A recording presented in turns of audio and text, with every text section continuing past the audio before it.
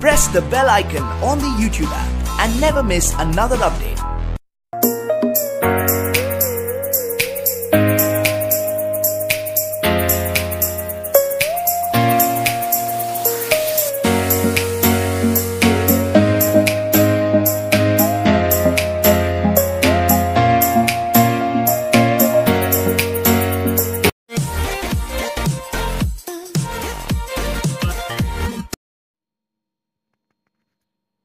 अस्सलाम वालेकुम।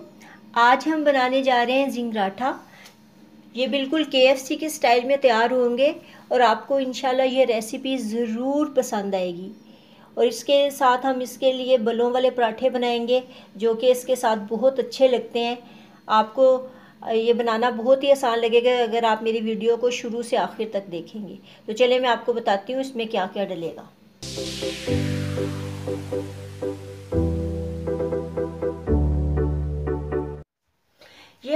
One fourth cup इमली का लिया था, जिसे मैंने तीन घंटे के लिए भिगो के रखा था। फिर मैंने इससे गुठलियाँ इसकी लैदा करके इसको ब्लेंडर में डाल के ब्लेंड कर लिया है। इसमें तकरीबन हाफ़ कप पानी डाल के। अब मैं इसको कुक करेंगे हम। पैन में इमली का इसको डालेंगे। अब इसमें ये मसाले जाएँगे। मैंने हाफ़ चम्मच लिया कुटी लाल मिर्च। हाफ़ टी स्पून मैंने इसमें नमक का जाएगा। हाफ़ टी स्पून ये ज़ीरा है जिसको मैंने मोटा मोटा सा ऐसे कूट लिया है। Half teaspoon chaat masala इसमें जाएगा। ये सारे मसाले हम इसमें अब शामिल कर देंगे। मिक्स करेंगे। ये ये मैंने तकरीबन थ्री टेबल स्पून के बराबर मैंने ये है चीनी। ये इसके अंदर जाएगी। सॉरी ये टू टेबल स्पून चीनी है थ्री नहीं है टू टेबल स्पून के बराबर चीनी है, ये अब इसमें जाएगी। इससे ये होगा कि इमली की चटनी बहुत ही मज़ेदार खट्टी मीठी सी तैयार होगी। चीनी के मेल्ट होने तक हम इसे कुक करेंगे।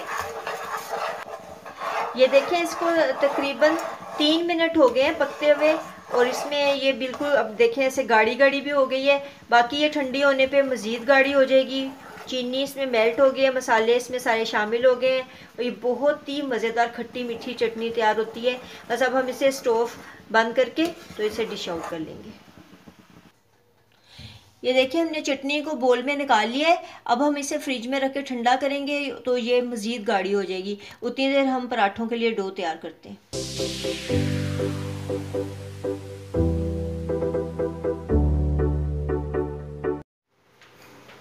डो बनाने के लिए हमें चाहिए होगा टू कप जितना मैदा, ये होल व्हीट आटा है जिसे हम लाल आटा भी बोलते हैं, ये हाफ़ कप इसमें जाएगा, एक अंडा जाएगा वन टीस्पून नमक जाएगा और टू टेबल स्पून इसमें ऑयल जाएगा। और ये डो गूंदने के लिए मैंने गर्म पानी रखा हुआ है, नीम गर्म पानी, इसे हम डो को गूंदेंगे। अब हम डो को गूंदेंगे, पहले हम मैदा लेंगे, आटा एक अंडा इसमें शामिल करेंगे। नमक और ये ऑयल इन सब चीज़ों को अच्छे से मिक्स करेंगे।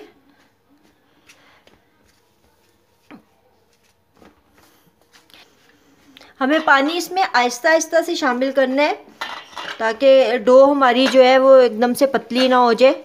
इसे बिल्कुल जैसे हम आटा गूंदते हैं घर में, उसी तरीके से गूंदना है हमने। पानी मैंने नीम गरम लिया हुआ है। इससे हमारे पराठे बहुत अच्छे सॉफ्ट से तैयार होंगे। इसको हमने बिल्कुल इसी तरीके से गूंदना है, जैसे हम आम घर में रोटी बनाने के लिए आटा गूंदते हैं। इस तरीके से अच्छे से इसको गूंद के हमने, अब हम इसको तकरीबन तीन मिनट तक इस तरीके से गूंदते रहेंगे। फिर हम इसे निकाल के फ्रिज में रख देंगे। ये देखिए डो हमारी तैयार हो गई है। मैं ये थोड़ा सा ऑयल लेके इसके ऊपर लगा दूँगी ताकि ये ऊपर से खुश्क ना हो। अब हम इसे तकरीबन आधा घंटा फ्रिज में रखेंगे।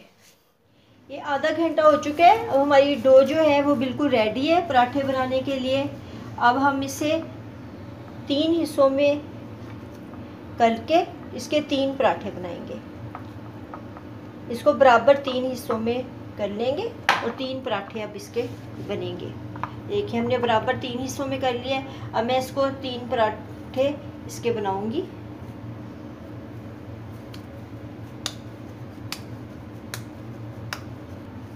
ये देखिए, हमने तीन पेड़े बना लिए। अब हम इसको बेल के इसके पराठे बनाते हैं। ये हम थोड़ा सा इस पे मैदा डस्ट करेंगे अपनी शेल्फ पे। ये देखिए, इसको इस तरीके से हमने किनारों से, इस तरीके से करने अब हम इसको बेल लेंगे। आपने खुशका बहुत ज़्यादा नहीं इस पे लगाना, बस इतना ही, जितना आपको इसके बेलने के लिए ज़रूरत है कि ये चिपके ना।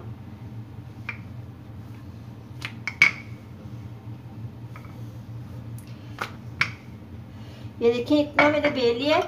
अब मैं इसके ऊपर ये मैंने घी डाला है इसको इस तरीके से मैं घी को इसके इस तरीके से चारों तरफ़ लगा दूँगी। अब मैं इसको इधर से ऐसे टर्न करती जाऊँगी, ऐसे।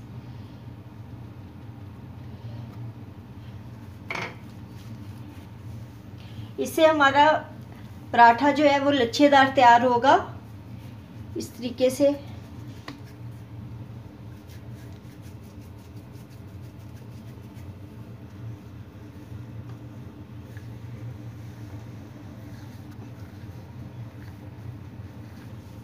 ये देखें, अब हम इसे इस तरीके से, ऐसे ऐसे ऐसे, इस तरीके से करते जाएँगे।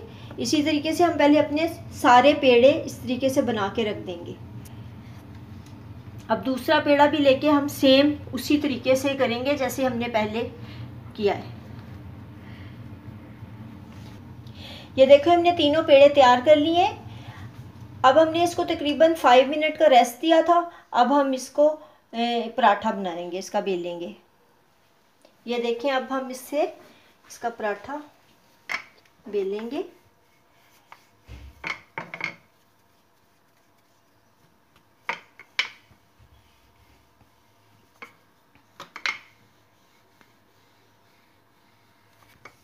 ये देखिए हमारा हमने पराठे को बेल लिया अब हम इसे कुक करेंगे। अब हम पराठे को इस पे डाल के कुक करेंगे। इसके ऊपर मैं ये घी डाल रही हूँ।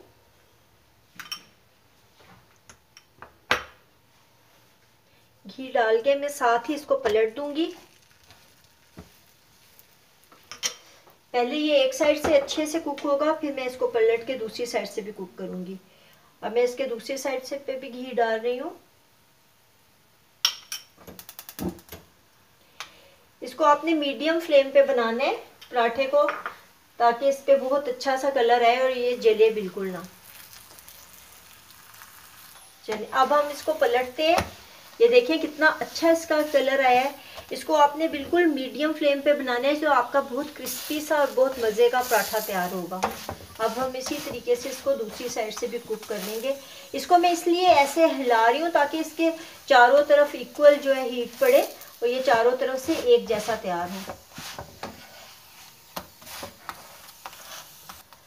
ये देखें अब मैं इसको पलटूँगी। ये देखें दूसरी साइड से भी पराठे पे कितना अच्छा कलर आया है। ये देखें इसके कैसे ये लच्छे भी तैयार हुए हैं इस तरीके से। ये देखें इसकी तह वाला ये पराठा बना है। बहुत ही अच्छा।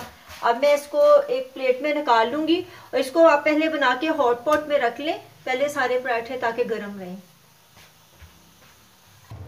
ये देखिए, हमारे पराठे तैयार हो गए हैं।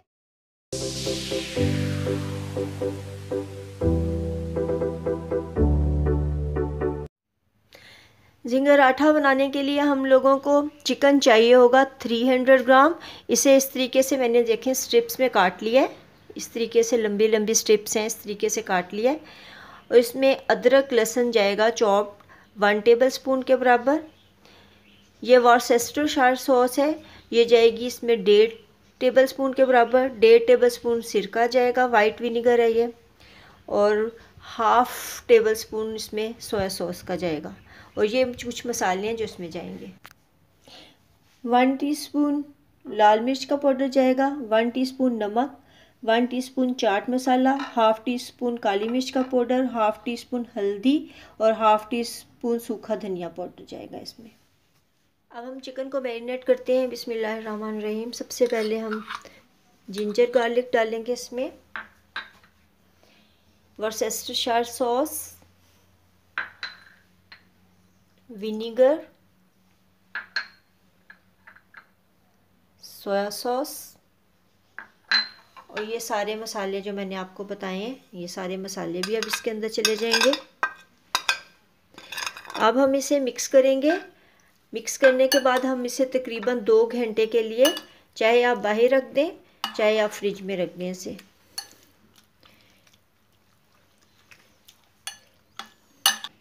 चले, ये हो गया, सारे मसाले मिक्स हो गए, अब हम इसे दो घंटे के लिए रख देंगे। दो घंटे हो चुके हैं, चिकन हमारा अच्छी तरह से मैरिनेट हो चुका है।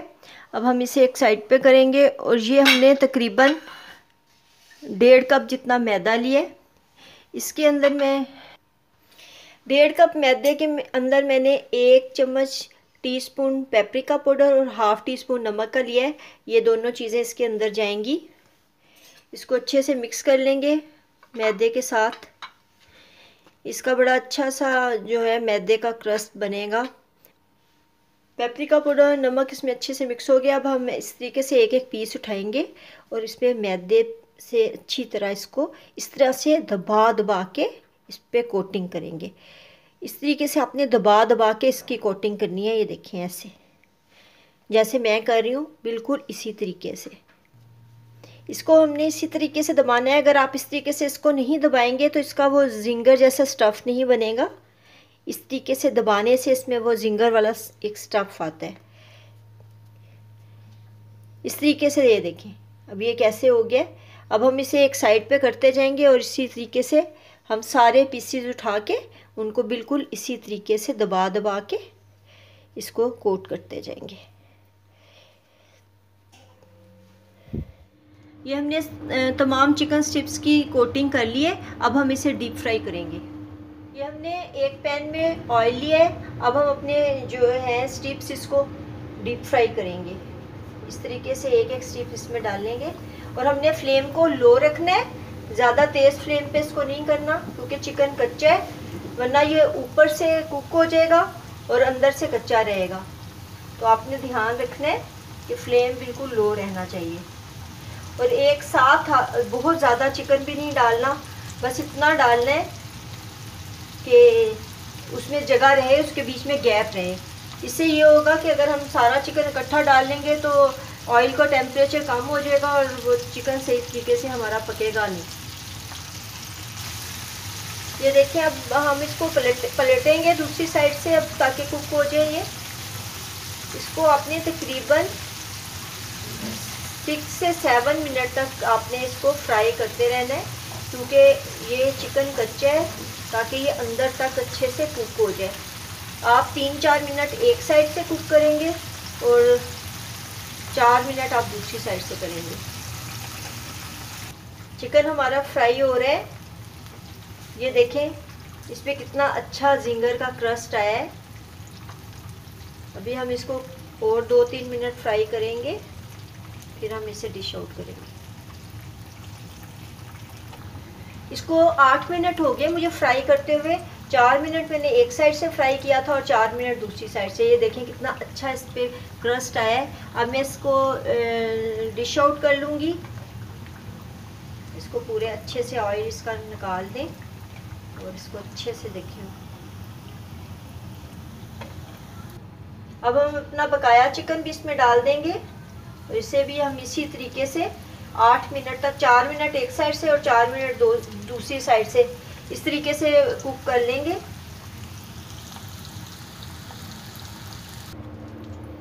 ये देखिए हमारा जिंगर चिकन सारा फ्राई हो गया। चलिए हम अब हम पराठे को सैंपल करेंगे। पहले हम इसमें ये जिंगर पीसीस डालेंगे। इस तरीके से इसमें रखेंगे। चिकन हमने इस पर रख दिया अब ये जो हमने इमली की चटनी बनाई थी ये देखिए अब ये गाढ़ी हो चुकी है। अब हम इसको इमली की चटनी को इसके ऊपर डालेंगे। इस पर इमली की चटनी का बहुत ही ज़बरदस्त टेस्ट आता है। ये खट्टी मीठी चटनी इसके साथ बहुत ही अच्छी आपको जायका देगी। अब हम इसके ऊपर ये जो हमने ये प्याज़ों को बारीक बारीक इस तरीके से लच्छों की तरह काट लिया अब ये हम इसमें प्याज इसके ऊपर डालेंगे। अब हम इसको हल्के हाथ से रोल करेंगे। अब हम इसे एक साइड से ऐसे उठाते हुए इस तरीके से रोल करेंगे। ये देखें ऐसे ऐसे ये देखें हमारा पराठा तैयार हो गया। इसी तरह हम सारे पराठों को इसी तरीके से रोल कर देंगे। ये देखिए, हमने पराठों को डिश आउट कर दिया है और ये बिल्कुल के के स्टाइल में बने हैं। ये आपको इंशाल्लाह ज़रूर पसंद आएँगे। आप इसको घर में ज़रूर ट्राई करें। अपने बच्चों को दें। सबको इंशाल्लाह ये रेसिपी ज़रूर पसंद आएगी। तो ये थोड़ी सी लंबी है रेसिपी लेकिन जब आप बनाएँगे तो आपको बहुत मज़ा आएगा इसको खाने में। तो अगर आपको मेरी ये रेसिपी पसंद आई है तो मेरी वीडियो को लाइक करें और अगर आपने मेरा चैनल अभी तक सब्सक्राइब नहीं किया तो मेरे चैनल को सब्सक्राइब कर लें। अल्लाह हाफिज़।